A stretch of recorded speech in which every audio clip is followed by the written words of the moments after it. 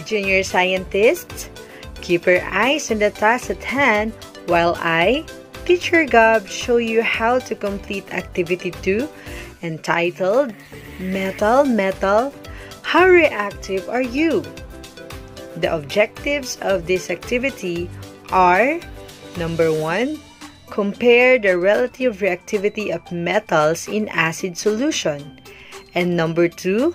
Find ways of preventing corrosion due to reactivity of metals. And here are the materials needed. A piece of copper wire, 4 cm long. A strip of aluminum, 4 by 1 cm. an iron nail 1 inch long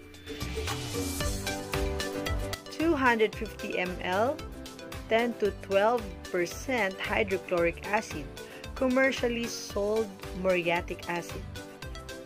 3 pieces of 100 ml beaker. 25 ml graduated cylinder.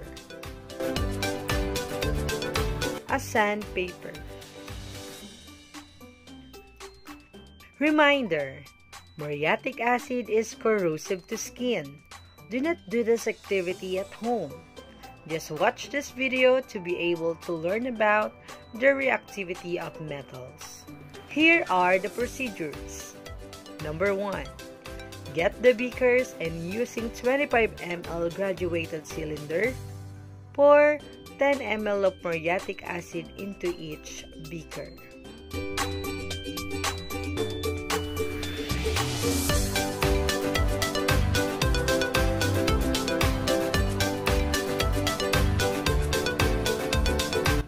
Number 2. Prepare the iron nail, copper wire, and strip of aluminum metals. Clean these metal samples by rubbing them with sandpaper. Number 3. Place the iron nail in one beaker containing muriatic acid or hydrochloric acid and observe. Number 4. Observe for 3 minutes. Record all observed changes in the table below. Here is the table 1. Data for activity 2. Check and describe the metal observed. Number 5. Repeat procedure number 3 to 4 using each of the remaining metals. Compare the results.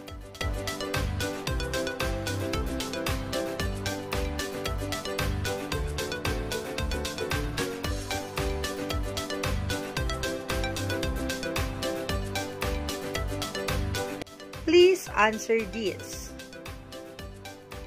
Question number 1. Which of these metals, iron, copper, and aluminum reacts with muriatic acid? Number 6. Arrange the metals in the order of their decreasing reactivity. Number 7. A reaction does not always happen between a metal and a compound. In this case, the reaction of metals with acid, hydrochloric acid, produces bubbles of hydrogen and a colorless solution of metal chloride.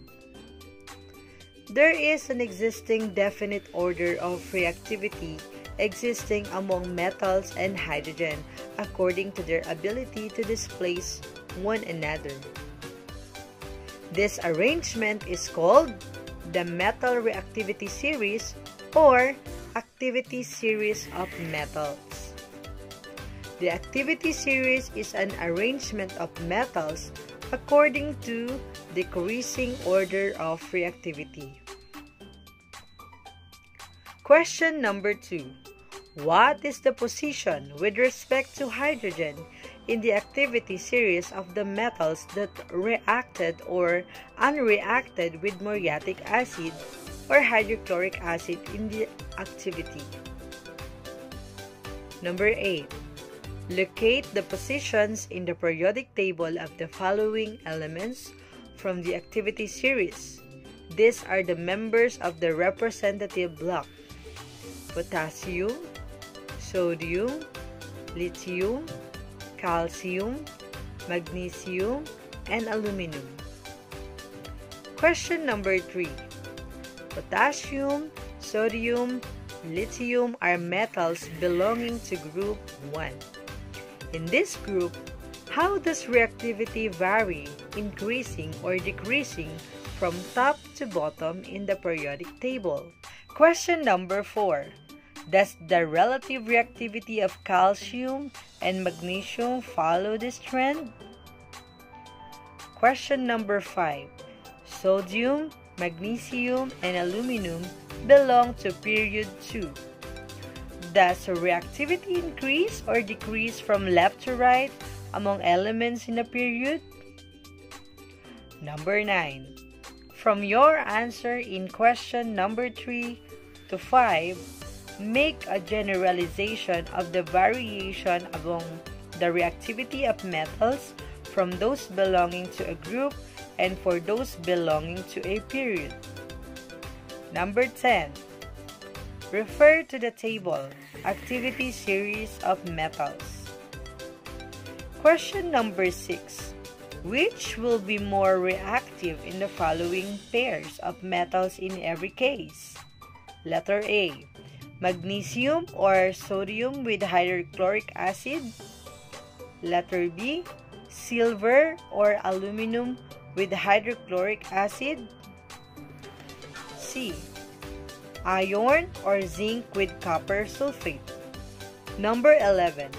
Think about the changes that you have observed around you, particularly those involving metals. You may also try to recall what you have done in grade 7 when you place an iron nail in a container of acetic acid. Question number 7. What harmful change or changes is or are brought um, about when a metal reacts or mixes with acids?